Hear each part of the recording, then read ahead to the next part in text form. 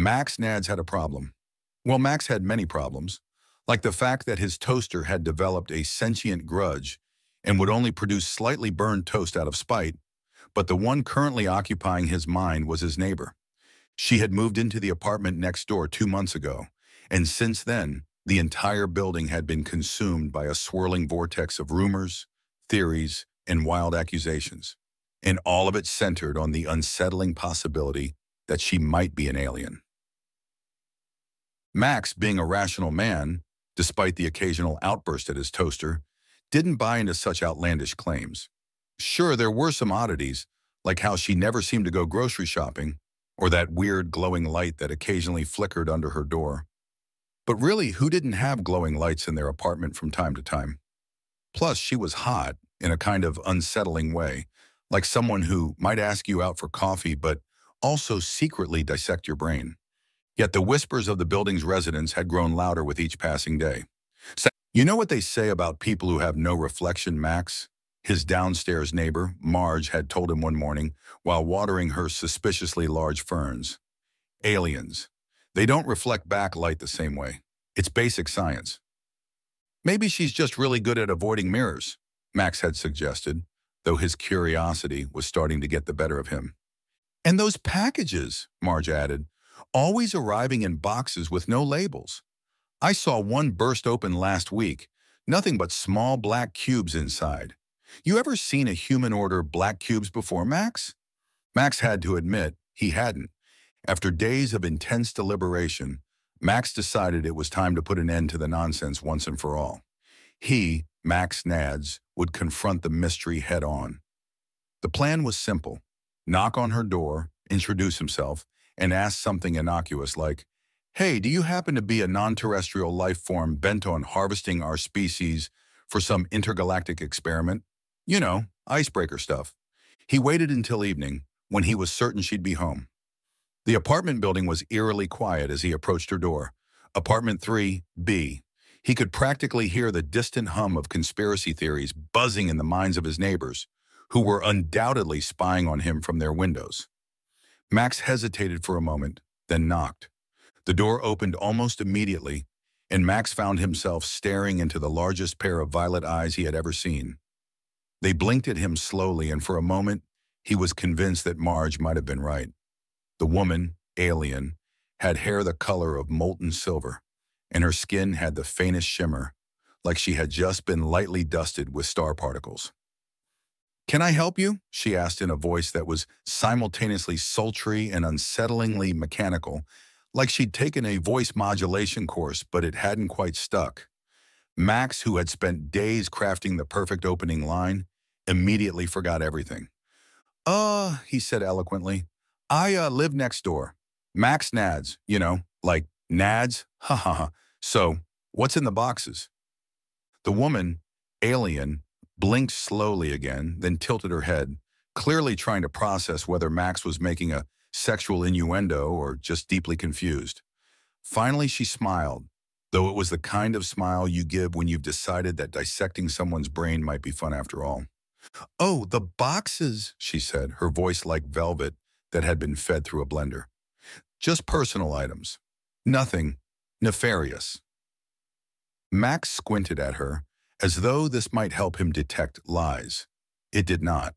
He noticed, however, that her hair appeared to be moving, slowly like it was waving in an underwater current, which, you know, normal humans definitely didn't do. Oh, well, cool. So you're definitely not like an alien or something, right? Not that I'm uh, accusing you, just wondering. The woman, alien, paused, her violet eyes narrowing slightly. An alien? What a curious question. Is that what the people here think of me? Max felt his stomach drop. His palms were sweating, which he tried to discreetly wipe on his pants, only to succeed in making it much more obvious. Haha, no. Well, maybe, I mean, you know how it is. Gossip, people talk, weird packages, black cubes, suspicious lack of groceries. I see, she said, her voice now colder than an intergalactic glacier. Would you like to come inside, Max Nads? There it was, the moment the decision. Max's brain screamed at him to retreat, but his legs, ever the reckless ones, carried him forward. Before he knew it, he was standing in her apartment, which was dark and filled with, yep, black cubes. Everywhere. Stacked against the walls, piled on the table, even precariously balancing on top of the refrigerator. Max gulped. You, uh, really like cubes, huh? The woman, alien, turned to him, her violet eyes now glowing faintly. Therefore, research. Max nodded slowly. Research? Yeah, cool, cool. What kind of research? She moved closer, her hair still doing that creepy flowing thing, and leaned in just a little too close. Human anatomy. Max's heart skipped several beats. Uh, what now? I've been sent here, she continued, her voice low and dripping with something that could only be described as ominous, to understand your species, to learn its weaknesses, and perhaps its strengths. Max's brain was scrambling to catch up with what was happening. It wasn't going well. S strengths. She smiled again, this time with a bit too much tooth. You'll do nicely for my study. Max's survival instincts finally kicked in. Uh, actually, I think I left my stove on. Oh, wait, no. My stove tried to kill me last week. Uh, I mean, I left the window open in my shower. Gotta go. He bolted for the door, but before he could escape, she caught him by the arm, her grip surprisingly gentle but firm. Max Nads, she said softly. You're not afraid, are you? Max's mouth opened, but nothing came out except a small, high-pitched squeak. Suddenly, the atmosphere changed. The glowing in her eyes dimmed, and she let go of his arm, laughing, a light musical laugh that seemed at odds with the whole impending alien dissection vibe. I'm kidding, Max. Relax. I'm not here to abduct or probe anyone. I just really like black cubes and solitude. I'm from a distant star system, yes, but I'm here on vacation. Max blinked, still trying to comprehend what just happened. Vacation? That's it? Mm-hmm. She smiled more genuinely this time. Your species is fascinating, but sometimes I just need a break. So I came here. Though I must say, your neighbors are hilarious with their rumors. Aliens, really? Max, finally regaining his ability to think, gave a nervous chuckle. Yeah, well, you know how people are. We get a little weird. The alien woman, who had casually just revealed she was definitely an alien, grinned and patted him on the shoulder. Maybe we'll hang out sometime, Max. You seem fun. Just try not to spread any more gossip about me, okay? Max nodded numbly and stumbled back out into the hallway. As the door to her apartment closed behind him, he realized two things. First, that the rumors had been mostly true, and second, that despite everything, he kind of liked her. Great. Max Nads had a crush on an alien. Just what he needed. Max Nads, now firmly locked in what could only be described as a cosmic will-they-won't-they with his alien neighbor, found himself in an increasingly strange series of encounters. Every time he thought he had figured her out, something would happen that left him wondering if he'd been living in an episode of a particularly risque space soap opera. It had started a week after their first conversation. Max had returned from work where he spent his days selling what the company called energy-efficient, fusion-powered spatulas. It was a very niche market. And he found a note slipped under his door. Written in perfect, elegant handwriting, it simply said, Max, come over. I need a hand with something. The note wasn't signed, but Max didn't need a telepathic connection to know who it was from. With his heart doing its now familiar race towards cardiac arrest, he went next door and knocked, wondering if needing a hand was an alien euphemism for something much, much more exciting or dangerous. The door slid open to reveal his neighbor, looking as serene and alien beautiful as ever, but this time dressed in something far more casual, a flowing, iridescent robe that barely clung to her shoulders. It shimmered, much like her hair, and left very little to the imagination. Or rather, it stimulated Mac's imagination in all the wrong ways. Oh, good, you're here, she said, her voice a purr of velvet and circuitry. I was wondering if you could help me with a little adjustment. Max's mouth went dry. Adjustment? Uh, sure. What exactly do you need adjusted? She gestured inside, and Max noticed that the apartment was still filled with those strange black cubes. But this time, there were also several peculiar gadgets scattered about, each one buzzing softly or blinking with lights.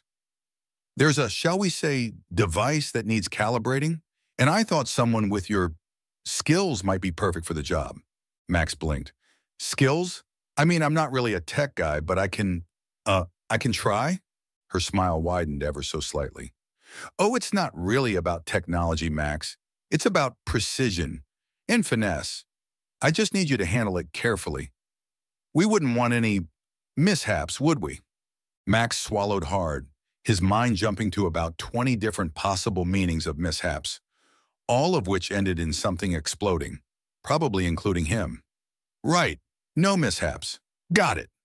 She led him into the room, and he was suddenly very aware of how close they were standing the smell of something exotic and intoxicating, maybe interstellar perfume, maybe alien pheromones, hung in the air, making it hard to focus.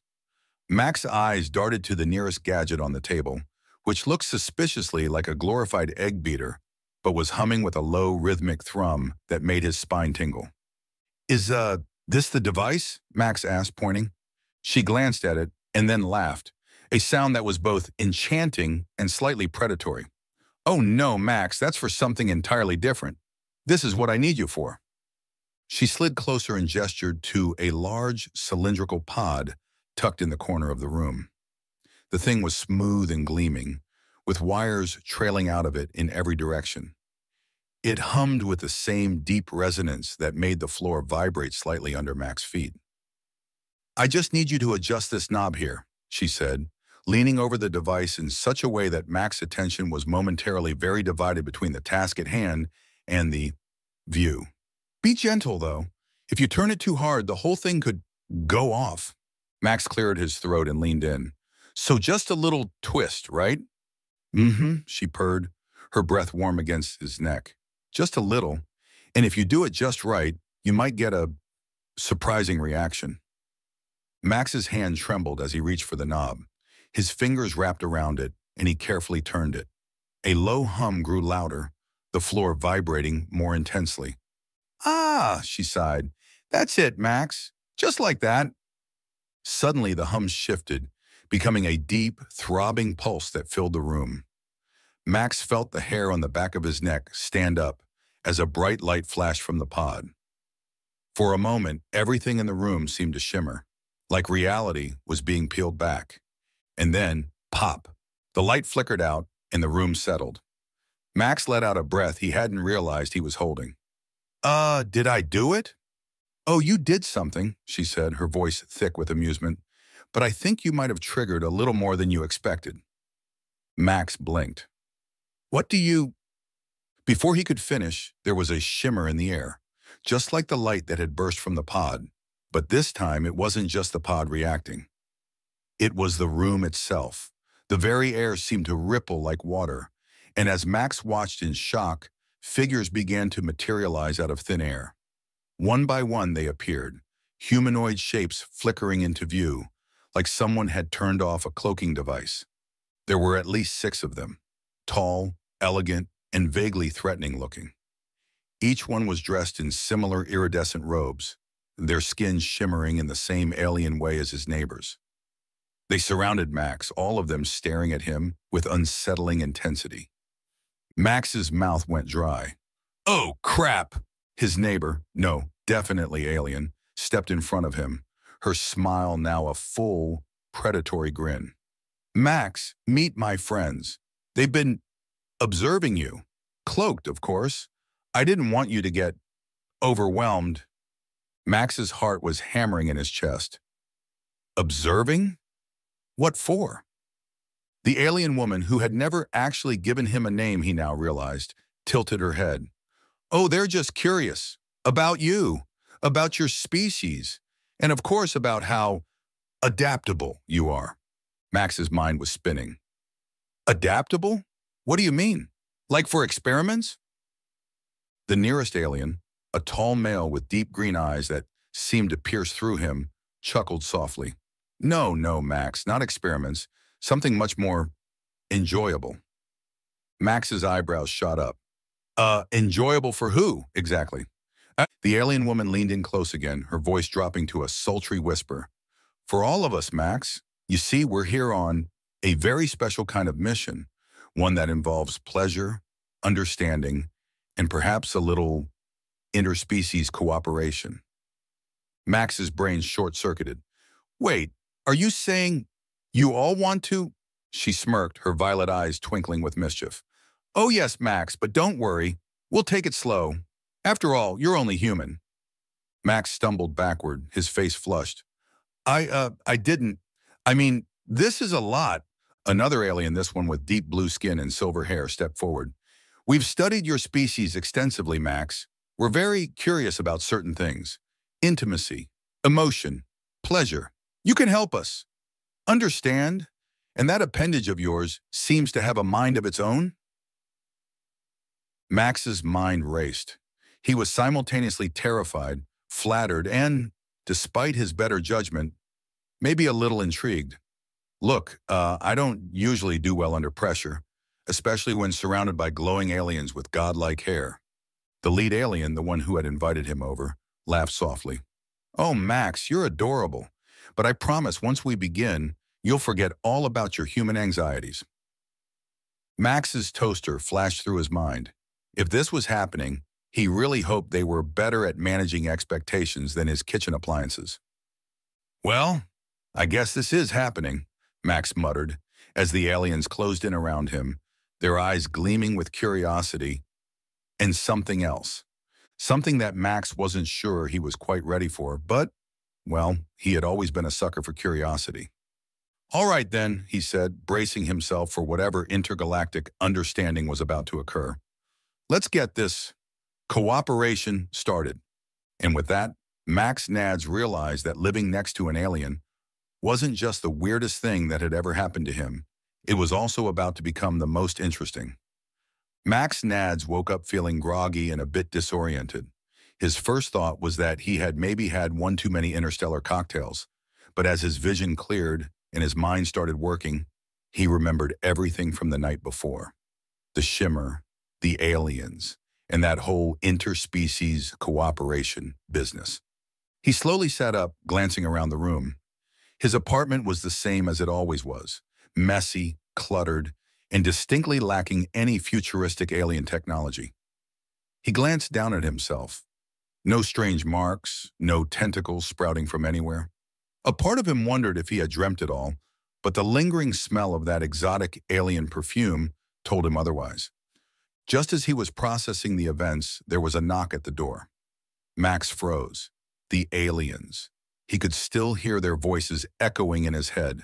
Pleasure, understanding, cooperation. With some reluctance, he opened the door to find his alien neighbor. Let's call her Zira because at this point, she definitely deserved a name. Standing there looking nervous. Max, we need to talk, she said in a voice that suggested things were about to get a lot more complicated. Max blinked. Uh, talk about what? Last night? Because you know I don't usually wake up to interspecies uh, cooperation. Is this about, like, alien customs or... Zira cut him off. No, Max, it's more serious than that. She hesitated, which was unnerving considering she was normally so smooth and in control. There's been a development, something we didn't expect. Max's mind raced through a dozen different possibilities, ranging from alien government wants to erase his memory to they've decided he's a galactic criminal for violating some obscure space law. But what she said next floored him. We're pregnant, Max. Max stared at her blankly for a moment, trying to make sense of the words. We're... what now? Pregnant, Zira repeated, her eyes searching his face for some kind of reaction. All of us. Max's jaw dropped. You mean all of you? Zira nodded gravely. Yes, every single one of us from last night. It wasn't supposed to be possible. Human genes shouldn't be compatible with ours. But somehow you, your genes are... Max's brain did a backflip and landed on its face. Wait, wait, wait. I, I got all of you pregnant? That's, I mean, no offense, but I'm just a guy. From Earth. I can barely keep a houseplant alive, let alone... Zira sighed, stepping into his apartment and closing the door behind her. This is bigger than either of us expected. Your DNA, Max, you're not just an ordinary human. Our scientists analyzed your genetic material after the encounter. She gave him a look that told him he shouldn't dwell on that part too long. It turns out you carry a unique genetic signature that matches an ancient lost clan of our people, a clan that disappeared over 200,000 Earth years ago during an expedition to find a new homeworld. Max blinked, still processing the I got a bunch of aliens pregnant part, and now he had to absorb the idea that he was, apparently, part of some lost alien lineage. Wait, you're telling me I'm some kind of long-lost alien descendant? Zira nodded solemnly. Yes, we believe your ancestors were part of the expedition that went missing millennia ago. Their DNA mixed with the early humans they encountered, and over time that connection was forgotten. But now, she placed a hand on her stomach, and for the first time Max noticed that her iridescent robe seemed to hug her body in a way that suggested she was already changing. Now the connection has resurfaced. Max felt his knees go weak. He stumbled toward his couch and sat down heavily. So let me get this straight. My ancestors were aliens, they got stuck on Earth, and somehow, after generations of crossbreeding with humans, I've inherited whatever ancient alien mojo they had. Damn, that's some fertile DNA. And I am a watered-down version? Zira smiled faintly. That's a very simplistic way of putting it, but yes. Max ran a hand through his hair, trying to wrap his head around it. And now, you and your friends are pregnant with, what, little half-human, half-alien babies? Because of me? Zira nodded again, looking both amused and sympathetic. Yes, and this is unprecedented. We didn't think it was possible for anyone from our species to conceive with a human. But your DNA, it's the missing link. Max slumped back on the couch, his mind reeling.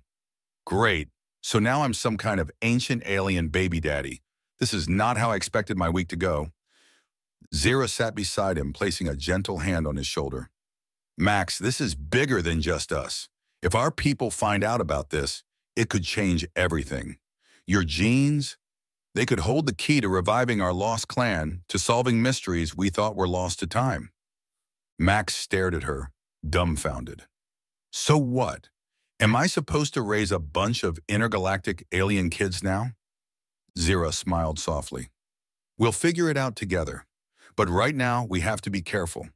There are factions in the galaxy that won't take kindly to this. If they find out, you and our children could be in danger. Max's heart raced. Danger? What kind of danger? Let's just say not everyone in the galaxy is as excited about new hybrids as we are, Zira said, her tone turning serious. There are those who would see this as a threat to the balance of power. If they find out you carry the lost genes of our people, they might come for you. Or worse, for the children. Max swallowed hard. So I'm not just an intergalactic baby daddy. I'm an intergalactic target too? Zira gave him a sympathetic smile. Yes, but you're not alone in this. We'll protect you. We've already made preparations. My friends and I, we're going to need your help, Max. You're not just part of our past. You're part of our future now. Max leaned back, his mind spinning. This was so not how I thought this would go. I was just trying to figure out if you were an alien, and now I'm apparently the chosen one for some ancient alien bloodline and about to be a father to a bunch of half-alien babies. Zira stood and walked to the door, turning to look at him with those shimmering violet eyes. Get some rest, Max. You're going to need it. We'll talk more soon. For now, we are safe on Earth, but who knows for how long. As the door closed behind her, Max sat in stunned silence, staring at the spot where she had just stood.